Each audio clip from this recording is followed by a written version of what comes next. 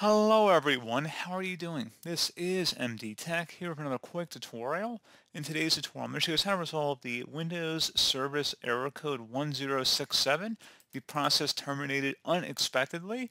So this should hopefully be a pretty straightforward process here guys, and without further ado, let's go ahead and jump straight into it.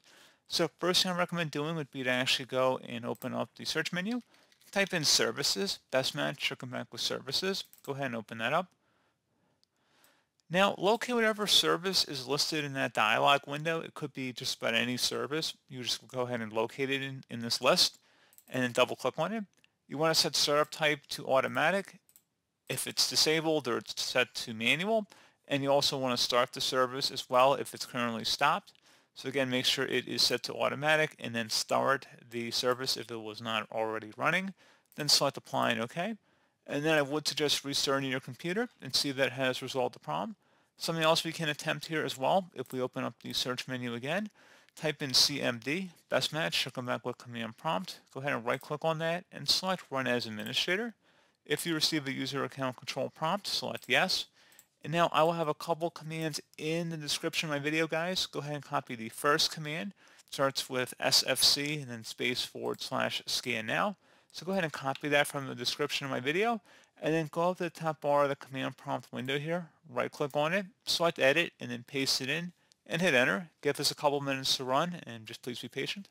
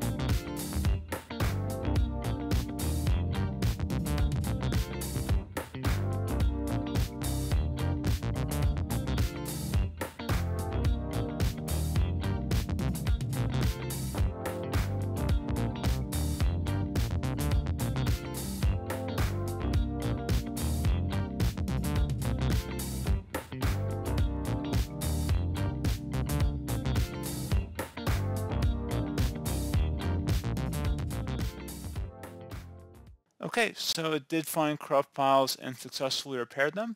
So once you're done with that command, I'd recommend running the second command in the description of my video, guys. It's going to be a DISM command. So go ahead and copy that and then go up the top bar of the command prompt window here, right click on it, select edit and paste that in. Hit enter on the keyboard to begin running this scan.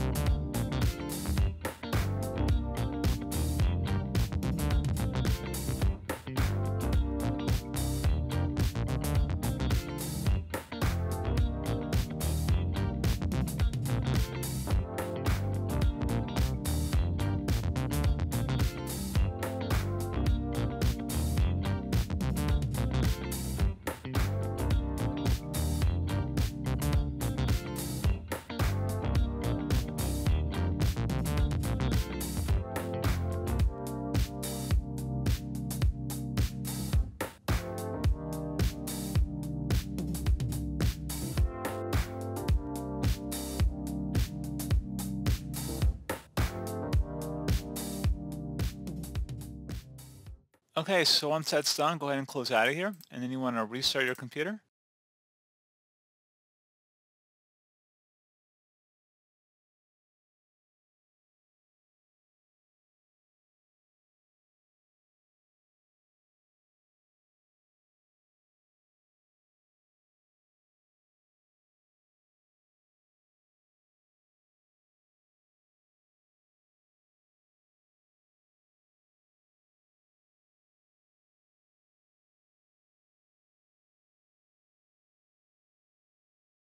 Okay, and once that's done, hopefully that's been able to resolve your problem.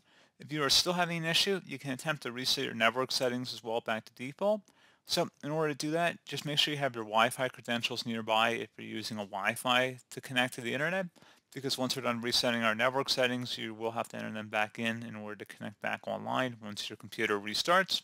So open up the search menu, type in network reset, best match, or come back with network reset. Go ahead and open that up. On the right side, it says this will remove and reinstall all of your network adapters and set other networking components back to their original settings.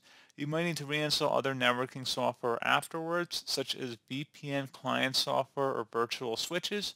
Your PC will be restarted. Select Reset Now. Are you sure you want to reset your network settings? Select Yes. And you will be signed out within five minutes, so I'm actually going to manually restart my computer at this time. So, and I would suggest you guys do that as well. So just go ahead and restart here.